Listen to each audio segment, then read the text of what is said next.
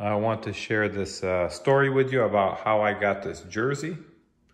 So 2017-18 season, I go to a LA Kings game. I usually go to about maybe one or two a year. That is the closest NHL team to me, to where I live. And um, so I'm sitting maybe about 10, 11 rows off the ice.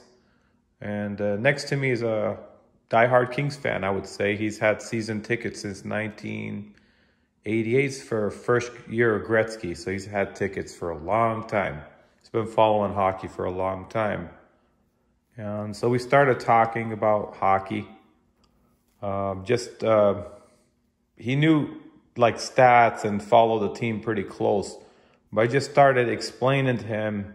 He was asking a lot of questions. I told him I used to play and uh, started asking about, you know, power play and all like detailed stuff. So I started explaining to him a lot of stuff, what goes on out there in the game. And, uh, you know, then we were talking about Salming. He asked me where country I'm from. I'm from Sweden.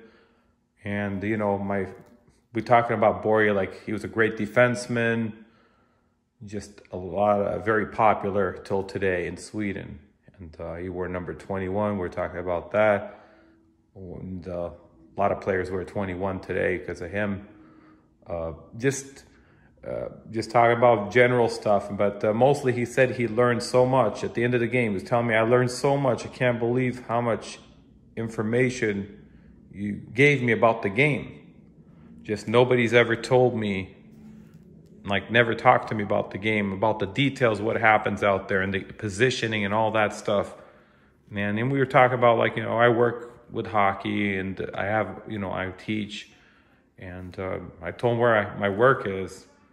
And, uh, and a couple of months later, he had someone drop this jersey off at my place.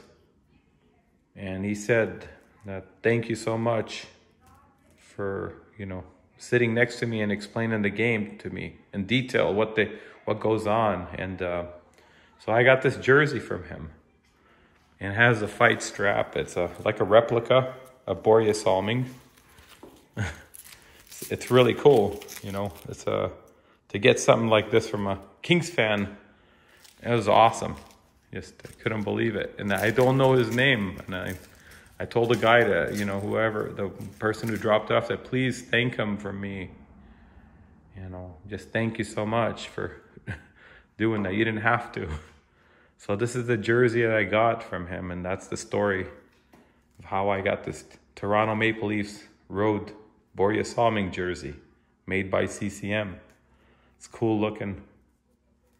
Thank you for watching my video.